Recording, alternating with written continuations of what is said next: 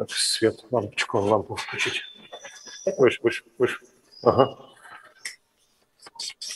И что нам Окей, известно про так. образование а, в желудке? По описанию, что а, образование располагается по передней стенке области угла желудка. А, в протоколе, ошибаюсь, 2 плюс 2c указано, какая-то, то есть немножко углубленная форма. По гистологии там что дали?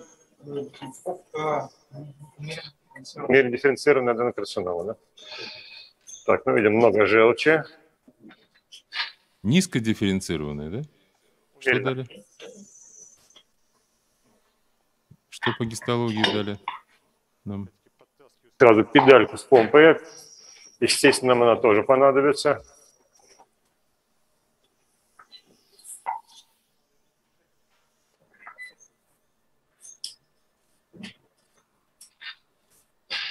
Мы, в принципе, на самом деле, э, вот если вот как сейчас было у Алексея, огромное количество пены, то мы частенько прямо внутрь через э, вот этот же э, канал ирригационный мы подаем испомезан. В банку мы не добавляем его, в, Почему? а, поскольку это ин- иногда приводит к залипанию вот этого сопла вода-воздух. А, Это, Мгм. Если, ну, скажем, концентрация высокая, иногда бывает вот такая проблема. Поэтому мы перестали это делать. Время от времени у нас возникает с этим проблема. И э, мы, так скажем, время на эндоскопе вы имеете? На Да, эндоскопе? да, да, да. Мгм. Да. На- А на каких эндоскопах залипает? А на, На любых всех или-? На любых. Да, на, на самом деле мы сталкивались и на Пентексе, и на. Ну, Фуджинона у нас нету в отделении, поэтому как ведется Фуджинон сказать не могу. Ну, вот, но и Пентекс и Олимпос, в общем-то, грешили этим а, периодически. По крайней мере, когда у нас происходило забит в сервисы, и одной и другой компании грешили на эспомезан. Я уж не знаю, насколько это так. Мгм. Мгм. Может быть, там больше без средства, например, виновата, но Мгм. Тем не менее, была такая рекомендация не использовать его рутинно вот в помпе больших объемов. Но сейчас я еще не до конца не откнул. Давайте все-таки красоту наведем. Пойду. 12 спиртный я захожу, чтобы опять-таки убрать пену, избыток желчи. Понятно, мы сейчас диагностика 11 спиртный нас сейчас в данный момент не очень интересует.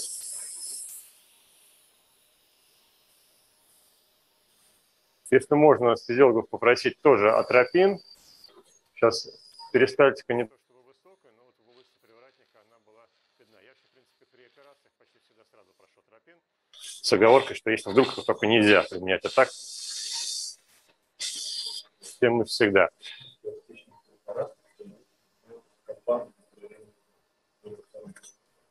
А, ну вот Иван Юрьевич говорит, что, грубо говоря, аналог бускопана появился в внутривенной форме. А, бускопан мы, конечно же, так это а, по-тихому таскали когда-то. И могу сказать, что все-таки в сравнении с атропином, ну, не, он, он хороший, он, наверное, в первую очередь хороший, там, понятно, для амбулаторных пациентов, но когда мы идем на операцию, все равно мне больше импонирует а, применение атропина, более выраженный эффект. Так, ну ладно, сейчас я не буду совсем идеала добиваться, но основное мы все убрали.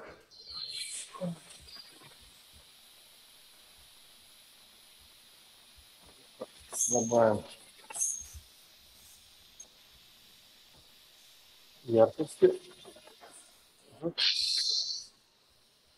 Ну, уже так почище стало, да. Понятно, вот мы видим, какой-то явно бросается в глаза очаг, белесоватый, Да, здесь нарушение точно. рельефа, причем с, э, ну, по сути, эрозированием, изъязвлением э, и таким вот валиком вокруг. Э, Если посмотреть на антральный отдел, мы видим, что здесь все такое белесое, кишечная энтоплазия. Сейчас перистальтика проходит.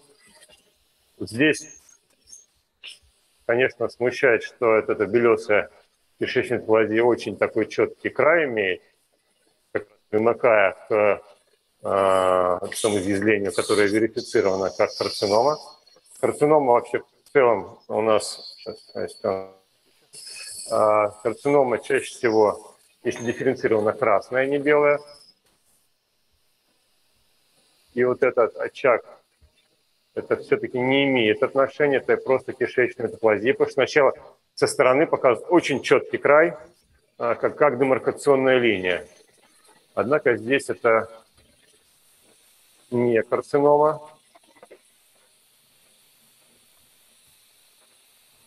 Я сейчас смотрю, вот здесь так сомнительная зона есть.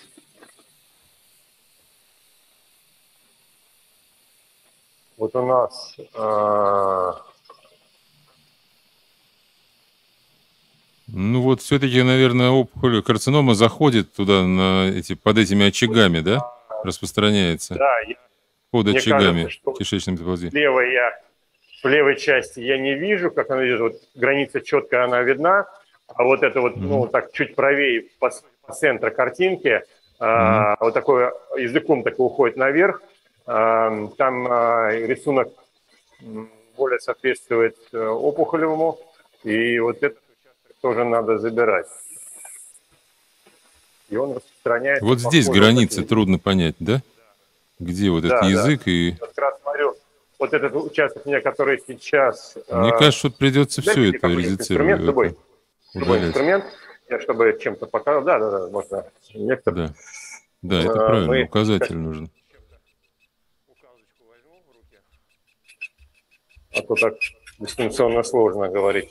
Вот. А, понятно, что мы видим это явные изменения. Здесь у нас идет демаркация и похоже, что... Вот здесь где граница? Сюда. Вот здесь непонятно, да, где я граница. Я бы сказал, что вот эта граница верхняя, вот где я провожу, ну, вот она. Да, фактически вот все это. это надо резицировать, наверное, да? Вот так вот. Да, так. Понятно, что мы еще отступим. Вот здесь... Оп, сейчас перистальтика проскочит.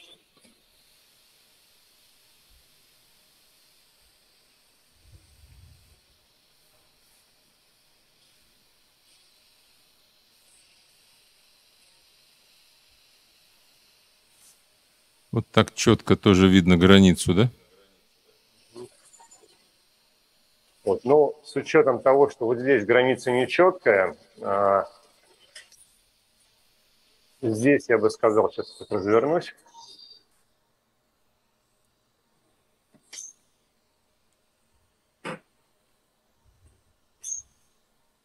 Ну, заперистальтировал пациент.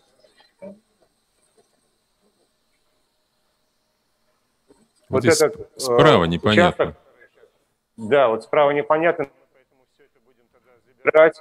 Все сомнения в пользу расширения. Здесь, в отличие от пищевода, у нас есть площадь, куда размахнуться. Да. А, и вот этот участок, хотя я не вижу явных признаков стопроцентных, но у меня он вызывает сомнения. Но рельеф так а, все-таки... Вот несколько нарушений рельефа, плюс на перистальтике как-то не смущает. Меня вот еще плюс ко всему, смотреть, смущает вот эта подтянутость складки, но э, mm. коллеги выполняли эндоузи, говорят, что там прослойка подслизистого есть, да, я правильно? Ничего не путаю. Э, хотя вот так вот макроскопически вызывает, ну так сомнительно, нет ли здесь глубокой инвазии, потому что вот эта складка натянутая часто бывает при э, уже более глубоком инвазии. Угу. Так, ну давайте разметимся. То есть я в целом, на самом деле, ну, наверное, два а, таких подхода можно так озвучить бывает. А, я лично а, все сомнения в пользу операции эндоскопической трактую а, поскольку если мы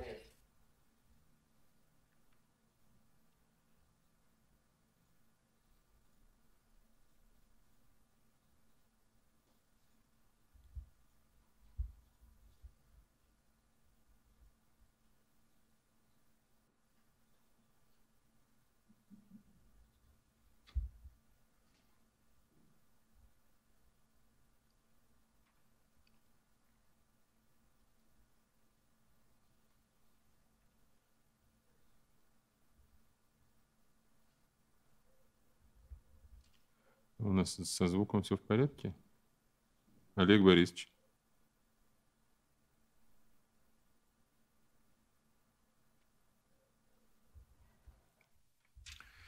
Олег Борисович, вы меня слышите? Да, я вас слышу. Ага, хорошо.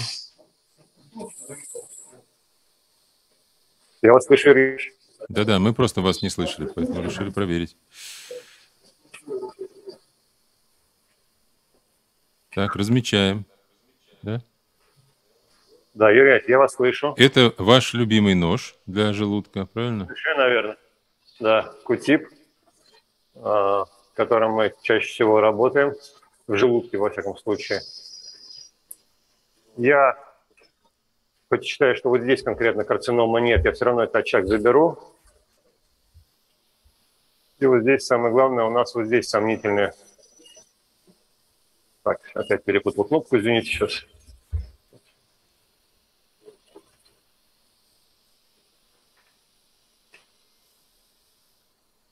Проверочка или что? Граница это? Так, да, я здесь вступаю побольше. Я сначала угу. всегда работаю там, где, ну, так скажем, границы очевидны, обозначая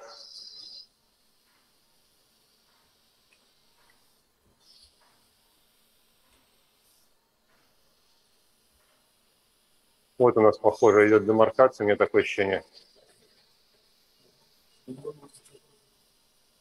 Ну, из-за строения да. опухоли, конечно, вот на 100% не видно из-за того, что накладывается это вот ну, здесь а, у нас аппарат не зум. Зум бы, наверное, бы здесь помог бы почетче разобраться. Но мне вот сейчас я сейчас стою. Вы с запасом, ощущение, с запасом все делаете, вот, поэтому... а, видна демаркация. Вот здесь сейчас, край а, виден, да. Здесь видно, да. Да, да, да. да. Угу. Вот. Так, сейчас мы его в зону диссекции вовлекли.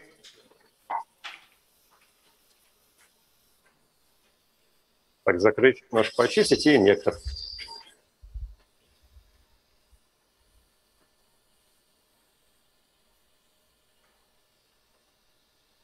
Так. Давайте. Не самая удобная зона для операции, потому что эндоскоп практически под прямым углом. А здесь я сейчас даже не знаю, как удобнее будет ходить. Наверное, все-таки отсюда отслаивать вниз а, образование. Первая задача – это сделать инъекцию, циркуляр. А, но вот я уже здесь думаю, как я буду, с какой стороны подрубаться. Вот. Думаю, что это будет сверху. Сверху начнете? Скорее всего, ну, именно диссекцию, скорее всего, отсюда. Вот. Так, а Когда низ, где у нас гравитация, будет помогать? А, надеюсь. Не уверен, если честно, что будет помогать. Здесь скорее колпачком будем делать тракцию. Кстати, давайте-ка, прежде чем я начну делать инъекцию, оденем колпачок, чтобы потом время не тратить. А, угу. Да, давайте я. Колпачок вы используете какой сейчас? Это стандартный для диссекции? Это а.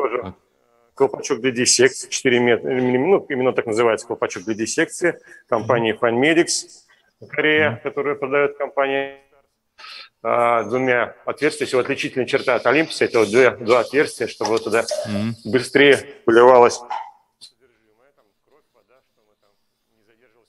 потому что иногда это действительно прям проблема. Так, открываемся. Подожди, без команды ничего не делаем. Так, ага.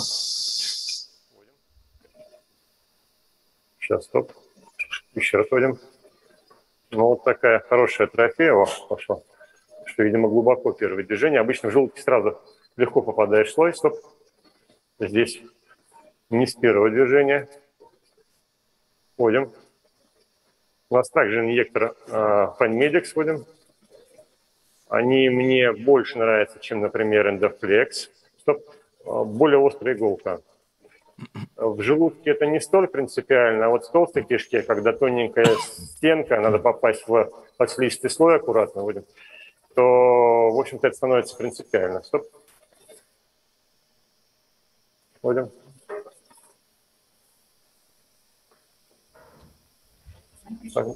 Инициируем сейчас, если не ошибаюсь, гиалуронку дали, да? Да. Стоп. Гиалуроновую кислоту. В общем, развели а, ее, развели? Да, разводим пополам. В противном случае очень тяжело. Но в любом случае рекомендую чтобы брать маленькие шприцы а, и с люрвелком, чтобы можно было а, навинчивать и не срывало от избыточного такого давления шприц. не расплескивать драгоценную гиалуронку в лица окружающих.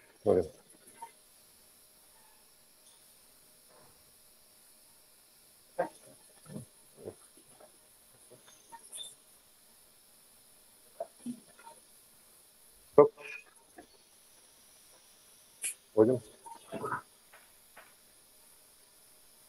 Я обычно накачиваю довольно-таки приличное количество. Она потом растекается. И если у нас хороший слой в мантральном отделе, вводим, то иногда бывает вот это даже периферической подколки хватает вообще на всю 10 секций. Вводим, вводим.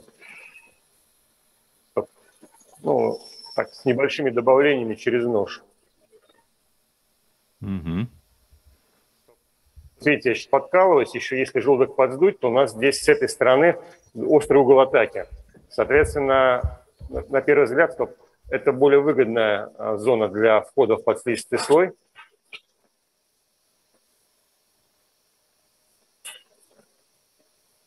Стоп. Входим.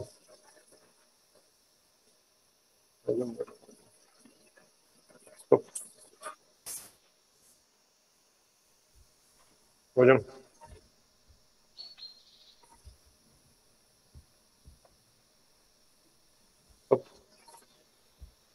Входим. Выраженная атрофия у нас очень быстро убегает. Даже несмотря на то, что гиалуроновая кислота, этот холмик становится таким полуднем. Почему это происходит? Атрофия, а, рыхлый подслизистый слой, он такой небогатый волокнами, и очень быстро происходит распределение раствора. Вот желудки разные он, же бывают, есть. правильно? Бывает убегает, и бывает нет. Все В разной степени. разные. Да, все верно. Так, у нас настройки все те же самые, стандартные, эндокат I. Открываемся. Для желудка эндокат I. А, угу. Я здесь, да, эндокат I, эффект PG3. Ну вот я а, кишке, я никогда не применяю эндокат как эндокат. Я на самом деле все время режу а, такие короткими импульсами нарезки работаю, а вот в желудке, а, если у нас что-то пытается кровить, если у нас а, есть жировая ткань, то я иногда, вот, вот сейчас я, например, поставил ногу и просто держу на педальке, работаю на режиме именно эндокат. В кишке это я не люблю делать по причине того, что все-таки там нет крупных сосудов, там, как правило, нет такой а, значимой проблемы с кровотечением, и, но есть проблема с заходом в подслизистый слой, его не заваривать. В желудке же ровно наоборот, подслизистый слой, как правило, выражен хорошо, а, здесь нет такой проблемы войти в него, однако есть проблемы с кровотечением, поэтому здесь, наверное, режим эндокат, так скажем, предпочтительнее, чем просто резко.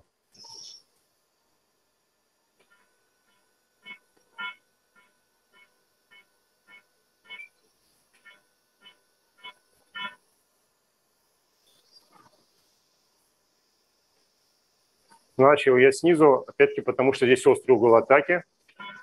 Чтобы так уверенно войти в слой, было ощущение вот этого такого провала ножа.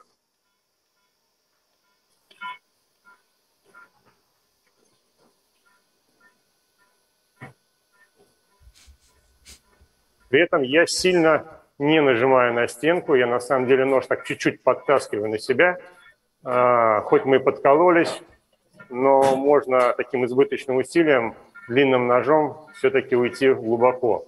А, поэтому я, в общем-то, так вот не стараюсь упираться. Проверяем, что у нас все хорошо. Ну, там хороший, хорошо наполненный гиалуронкой слой подслизистый. Очень такая приятная гелеподобная структура, на самом деле. Она чем она хороша, в отличие от других растворов на гиалуронке? Тем, что меньше пузырьков газа, такая, так более цельно выглядит, бы сказал. И меньше артефактов, которые там что-то скрывают, сосуды.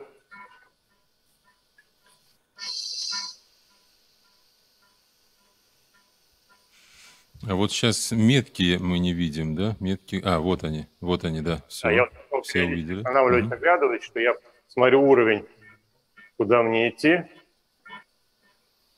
поскольку мне здесь, ну, можно так вывернуться наоборот, но мне будет очень неудобно манипулировать с винтами, поэтому я так короткими такими движениями иду.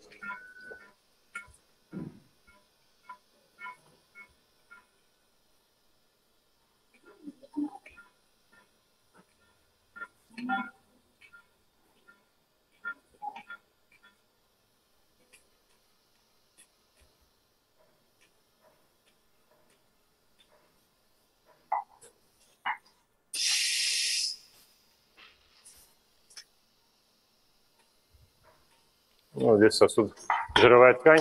И как всегда... Жировая ткань ткань там, да, выражена достаточно? Да, вот здесь точно так же мы вот можем видеть небольшое количество жировой ткани. Это не прикольно, потому что, собственно говоря, она, видите, такой наград значимый и хуже прорезается, хуже, соответственно, коагулируются сосуды. Первый вот этап, по сути, наметили себе границы, прошел. Сейчас я пройдусь по циркуляру, ну так, заглубляясь, а, отсекая какие-то поверхностные сосуды, для того, чтобы лучше сделать тракцию лоскута со всех сторон. Уже потом буду штурмовать образование. Скорее всего, вот с верхнего, ближе к малой кривизне отдела. Сейчас на свифт коагуляции, коагуляции просто я ее провариваю вот эту зону с жировой тканью, и там сосудик виднелся. Вот сейчас белесая мышца вне угу. показалась. Хорошо видно уже, да.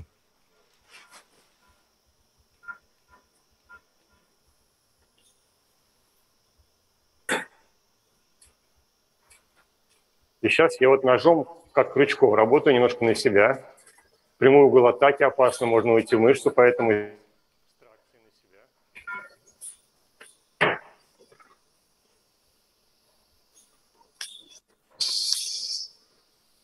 Жир еще плохо тем, что линзу пачкает, периодически приходится иногда выходить. Мы используем для этого э, эти ватные палочки. Иногда берем, применяем автомобильную такую химию антидождь, я не знаю, насколько это законно, а, смазываем а, линзу, а, чтобы с нее вот эта вода, пропитанная жиром, быстрее скатывалась и меньше затрудняла нам обзор. Угу. Вообще существуют специальные какие-то растворы у фирм-производителей для оптики, но в каталогах как-то я их что-то не встречал. Я не знаю, может, я ошибаюсь, Евгений Иванович продают такие? Ну, нет, я не знаю, что продавали у нас на рынке такие сейчас растворы для оптики. По идее, они, казалось бы, должны быть. Да, нет, уверен, что они есть, но, как всегда, не у нас. Мне кажется, что у нас на рынке никто не предлагает такого, да. Мне не попадалось. Надо почаще спрашивать представителей фирм, mm-hmm. а то они, наверное, забывают про наши нужды иногда. Ну, скорее всего, они просто это никто не регистрировал, поэтому... Ну, да. А вот мы видим опять мышечные волокна. Мы понимаем из-за этого, то есть глубину необходимо. Сейчас мне вот к тому краю тяжело подходить. Я сейчас начинаю работать чуть ножом, так? Сейчас мы осмотримся, так что-то пытается. А это как раз наша вот зона, где жировая ткань. Вот она, как всегда, и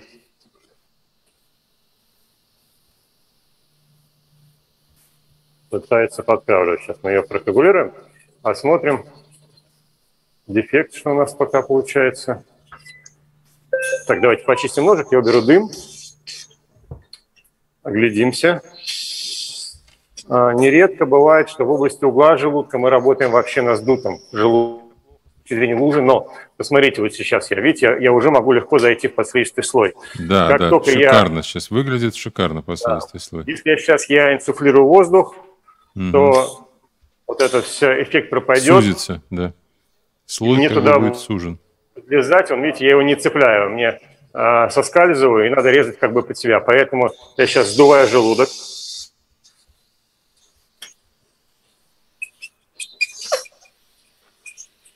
и будем работать на сдут.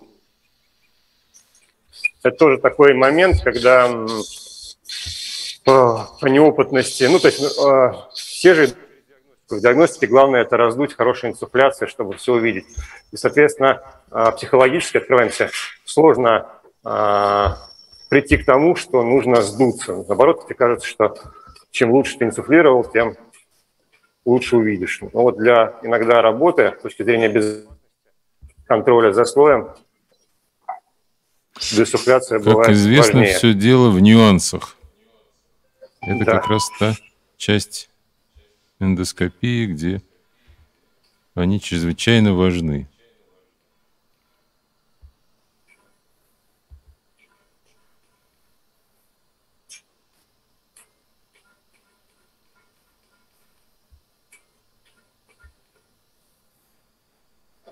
мышечный слой.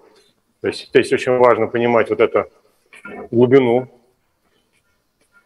на которую нам можно погружаться. Вижу сосудик, сразу применяю превентивно mm-hmm. коагуляцию. Пока нам не понадобилось переходить на софт-коагуляцию. Опять десуфлируем. Все-таки вот вопрос, как часто вы э, моете оптику? Потому что она все-таки вот становится грязной, ну, особенно когда ну, много коагуляции и жировая ткань. Вот сейчас я, когда досуфлировал... Да, удалось то... смыть немножко сейчас, да. Да, да, да, да. То есть если бы сейчас не удалось, я бы, скорее всего, вышел бы и э, протирал бы оптику. Хорошо, что у нас канал 3.2. На самом деле, я считаю, что э, эндоскопы, гастроскопы, Pentax имеют явное преимущество для этих операций перед Олимпосом. Это канал. Они вообще, в принципе, более верткие, чем э, у Олимпоса. И то есть, лучше тяги работают. У Олимпоса они пока новый аппарат тоже неплохо, но, к сожалению, быстро заканчивается, не растягивается. Pentax понадежнее в этом плане. И канал 3.2.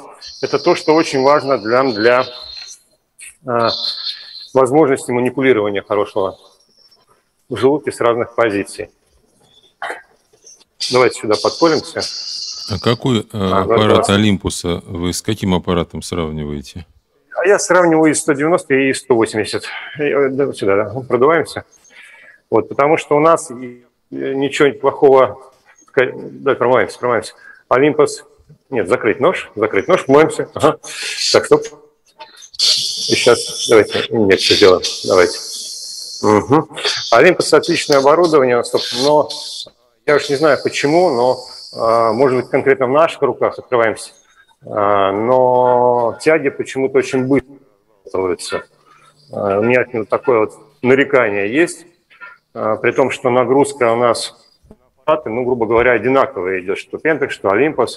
А, и последнее время я, особенно слово кардио, там, я предпочитаю взять эндоскопы а, если, ну, скажем так, логистически нету потому что иногда бывает там ситуация наделения не дает выбора, а какая стойка свободна, то и применяем. Если выбирать, то Pentax, на мой взгляд, в приоритете для диссекций, по крайней мере, уж в верхних ходилах точно. Ясно. Понятно. Это у нас э, нижний край, да, что ли, получается сейчас для наших зрителей? Еще ну, это мы вот видите, мы сейчас проходим. Да, это мы, а, мы скоро будем подходить к этой язочке, естественно, я... Да, вот эта зона самая а, интересующая, да? Да, интересно, будет ли у нас какие-то проблемы со слоем или нет. Пока я хочу, чтобы этот вот, ну, лоскут полностью, так скажем, отвисал, отрабатывал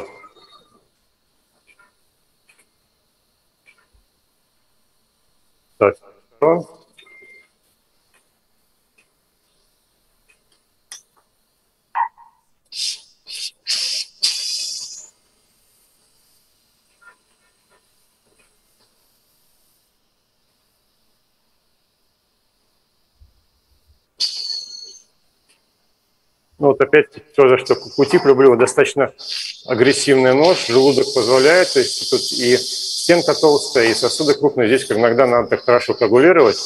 Вот эта площадка, она иногда очень помогает, то есть более выраженная зона. А можно мне вот кабель какой-то убрать? А то у меня все время на педаль попадает, и я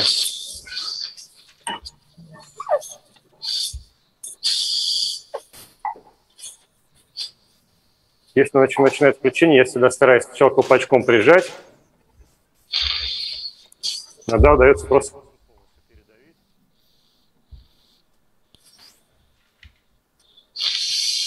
Здесь мне, честно говоря, не показалось, что какой-то значимый сосуд. Казалось, что достаточно небольшой. Ну, давайте, в принципе, у нас конференция, демонстрация, возьмем щипцы. Мне кажется, mm-hmm. можно справиться легко и нож. Ну, если есть щипцы, то лучше, наверное, их взять. Да? Не такая дорогостоящая сложная вещь. Переходим на режим софт-коагуляции.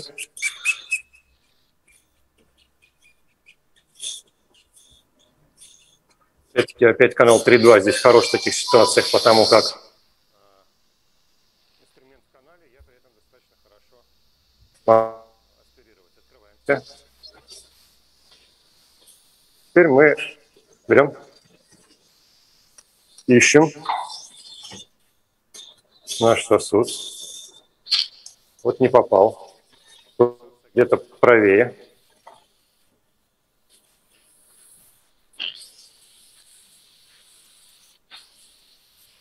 Так, открываемся.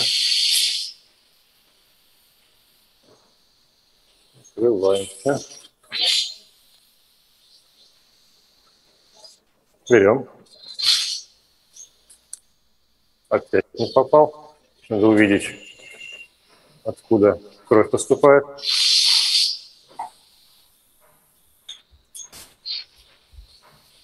Открыть.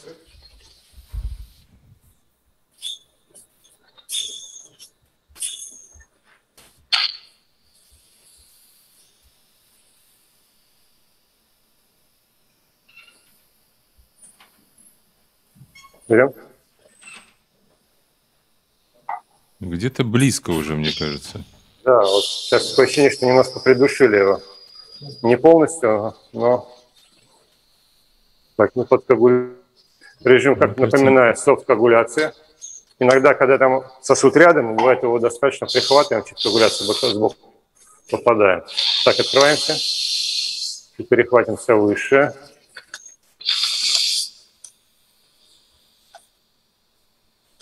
Берем. Этот сосудик, я его вижу сейчас тоже. Ой, извините, педаль перепутал. Mm, мне кажется, что...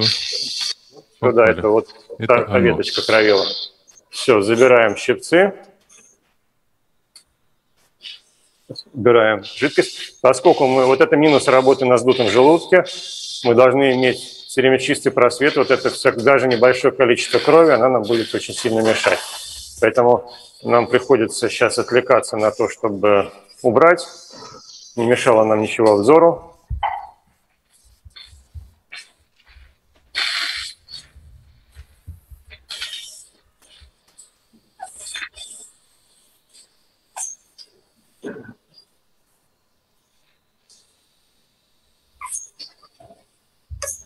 Так.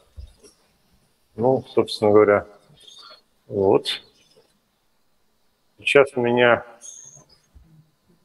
есть желание уйти на край, чтобы можно было вот эту язву, если будет проблема, атаковать не только вот с этой стороны, но и отсюда, да? сбоку. Угу. Да.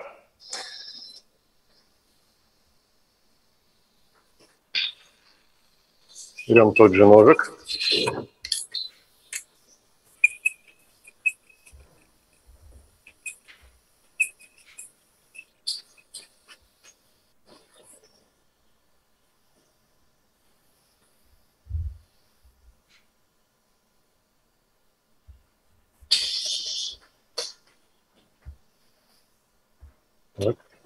Сейчас сделаем инъекцию. Что я слой вижу, но будем, будем. Стоп. Это даже небольшое количество жидкости сейчас начинает мешать. И сюда сейчас подколемся. Да, вводим, вводим, вводим, вводим. Хорошо, стоп. Дальше надо колпачком. Открываемся. Колпачком делать тракцию. Так, переходим на режим shift коагуляции.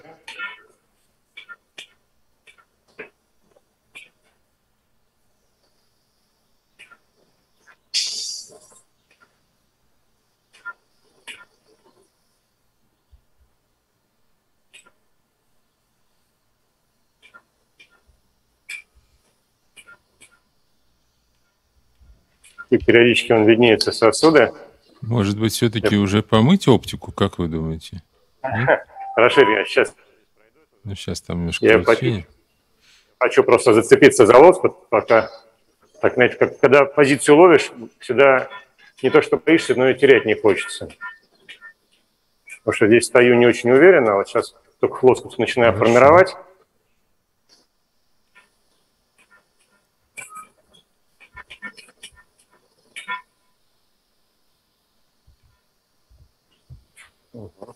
Да, это мышечный слой, поэтому пытаюсь как крючком немножко подцепить. Вот это закрыть ножик. А можно? Или что у нас? Сказал, что опять же перестальтировал пациент. Вот я хочу с этого края влезть. Почему-то ощущение, что инъекцию еще раз делаем должно легче пойти. Хорошо.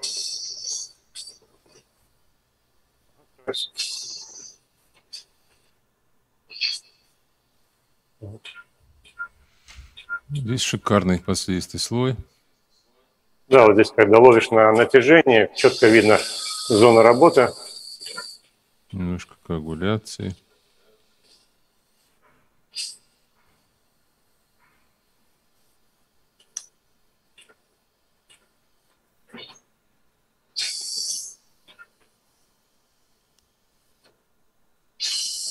Вот видите, минус сдутого желудка, что все время что-то подтекает, сейчас более низкая часть, а, условно говоря, по горизонту, и нам натекает все время жидкость. Приходится все время такими урывками работать с паузами на аспирацию. Но слой видно вот хорошо. Угу.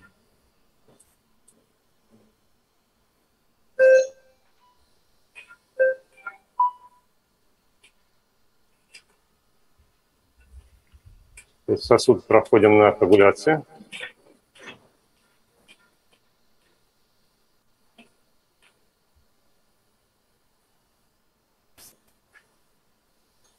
это было сложное место, где не подвернуться.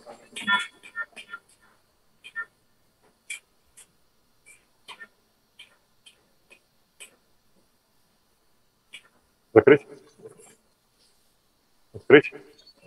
Хороший сосудик тоже.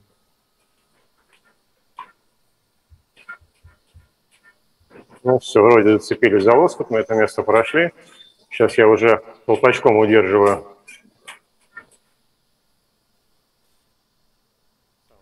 лоскут с опухолью. Пока на всех участках, мы еще, конечно, под эту язву не зашли, но пока на всех участках нормальный, хороший слой. Никаких ни фиброза, ни инвазии. Кстати говоря, фиброз от инвазии не отличить. Э, мой призыв, что если вы напарываетесь на какую-то зону, которая, ну, где толком плохой слой, э, думаете, что ну все, это точно инвазия, я бы что, как рекомендовал не горячиться. Если выбрали такую стратегию, лучше закончить давление лоскута, потому что я свой, ну, знаете, как всегда, личный опыт, он всегда важен для, лично для, вас. И здесь э, я дважды остановился и два раза ошибся. Я был абсолютно уверен, что это инвазия, оказалось нет. Закроемся. И с тех пор я сказал, что если уж я вводим инъекцию, Если мы пошли на диссекцию, мы в любом случае удаляем препарат, и чтобы морфологи уже отвечали на вопрос, если нет, чтобы макроскопически ответить, открываемся на этот вопрос, уверенно сложно. Рубцы, которые могут быть на фоне хронического воспаления в прямой кишке, в желудке, это не редкость, они запросто могут быть.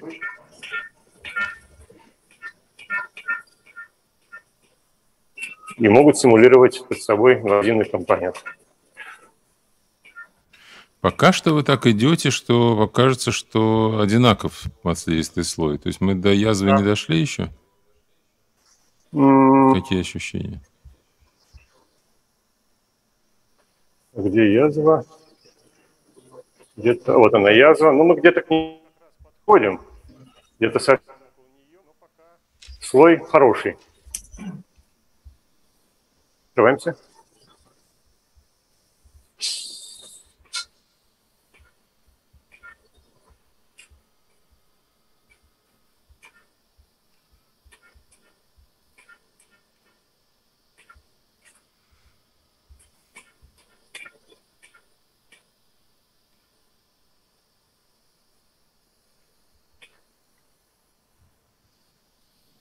Так.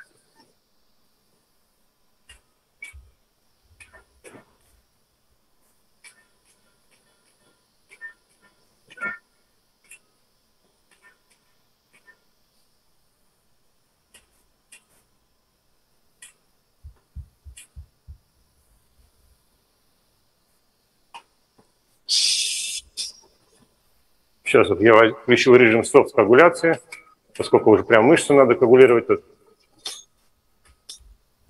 Какой режим? Софт. Софт. Да. Чтобы нам не рассечь мышечные волокна. Здесь сильно не кровит, но так нам может подтекать и портить визуализацию. А визуализация – это наше все. Да, залог безопасности.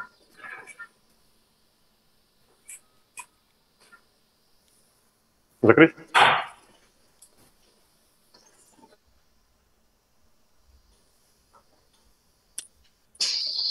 Может, тогда все-таки протереть оптику?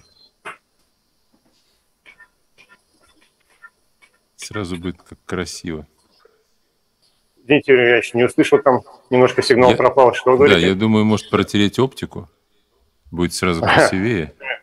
Визуализация же это наше все. Давайте. Заберите нож, пожалуйста, тоже его пока протрем. Забирайте нож. Я аспирирую тут чуть-чуть небольшие остатки крови, дым.